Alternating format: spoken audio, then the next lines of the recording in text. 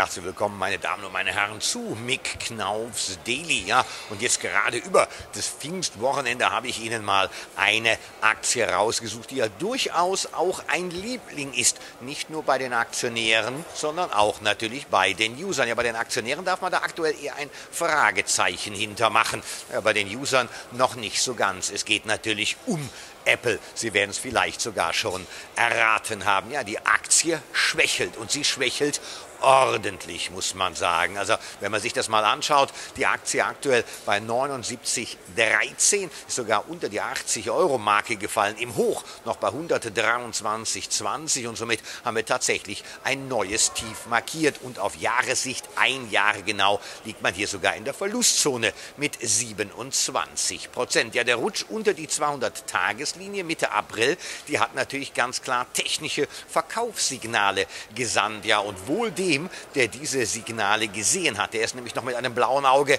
davongekommen. Seitdem her hat die Apple-Aktie tatsächlich Handelstag für Handelstag immer wieder abgegeben. Wenn man sich das mal durchrechnet, dann hat man hier tatsächlich einen Wert von 74 Milliarden US-Dollar. Ganz einfach mal vernichtet. Naja gut, meine Tim Cook ist zwar, und das muss man fairerweise sagen, nach wie vor ein großer, großer Bewahrer von Steve Jobs, aber ihm fehlt es natürlich ganz klar auch an Innovationen. Naja, er hat zwar jetzt dann nochmal Reis ausgenommen, war dann in einer großen, bekannten amerikanischen Fernsehserie drin, hat nochmal versucht, natürlich die Aktie, vor allen Dingen halt eben hier eine Lanze zu brechen. Er war bei Jim Cramer in der Sendung Mad Money, Kultsendung übrigens in den Vereinigten Staaten, meine Damen und Herren. Ja, und äh, hat gesagt, naja, immerhin seien 10 Milliarden Dollar Quartalsgewinn mehr als jedes andere Unternehmen machte. Damit hat er natürlich vollkommen recht. Trotzdem fragt sich natürlich so manch ein Aktionär, woher denn jetzt die Visionen, die Innovationen in Zukunft kommen sollen. Ja, Cook sieht die wohl mehr oder minder in Indien. Das scheint wohl so zu sein. Und er sprach oder versprach zumindest nochmal von spannenden Innovationen für die Zukunft. Was hat er gesagt? Sagt, ja, wir werden ihnen Dinge geben, ohne die sie nicht leben können, von denen sie heute noch nichts wissen, dass sie sie tatsächlich brauchen. Interessante, spannende Aussage natürlich, aber da ist natürlich auch sehr, sehr viel Spekulation mit dabei. Ja, er versucht natürlich so gut wie möglich Steve Jobs Erbe zu bewahren und diesen Job, das muss man wirklich fairerweise sagen, macht er auch ganz, ganz hervorragend. Aber ihm fehlt natürlich die Kreativität. Ja, und dieser Tage kam ja innerhalb des Marktes mal so die Idee auf. Deswegen habe ich das Thema Apple auch aufgegriffen. Was denn wäre, wenn Apple ein Automobilunternehmen kaufen würde? Ja, und dann fiel mir ganz einfach mal ein wenig die Spinnerei ein. Wie wäre es denn, wenn Apple Tesla kaufen würde. Ja, mit Tesla hätte man natürlich direkt auch mal einen kreativen Kopf mit dabei.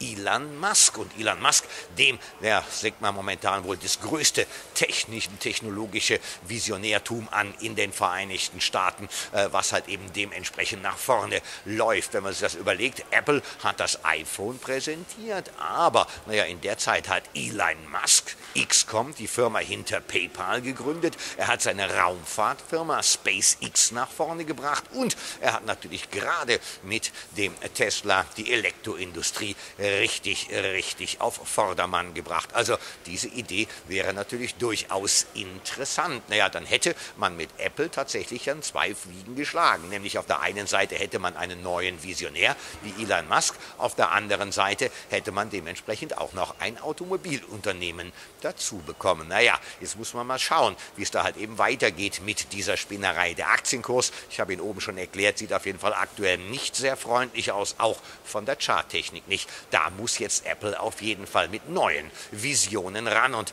das, was mich so ein bisschen beunruhigt hat, war, dass auch noch Ende April der Star-Investor Carl Icahn, mittlerweile 80 Jahre alt, alle seine Apple-Aktien verkauft hat. Ja, er hat ganz klar gesagt, der weitere Erfolg des iPhone-Konzerns, der scheint ihm ungewiss, vor allen Dingen in Hinsicht im Blick auf China. Naja, und das ist bei Gott kein gutes Zeichen. Carl Icahn ist ja immer relativ aggressiv, geht die Unternehmen ja dementsprechend an, macht Druck auf die jeweilige Konzernleitung. Naja, und das hat aber auch dazu geführt, dass man bei Apple zum Beispiel von 50 Milliarden insgesamt 250 Milliarden Dollar mittlerweile mittlerweile an Dividenden, an Ausschüttungen trägt. Naja, und wenn Karl Eichen nicht mehr da ist, dann fehlt natürlich dieser Druck auf die Konzernspitze. Also gilt jetzt zum Überlegen, naja, wird Tim Cook tatsächlich das Ruder rumreißen? Wird man sich einen neuen Visionär holen oder ließ man dementsprechend weiter in diesem Fahrwasser aktuell gleiten? Das allerdings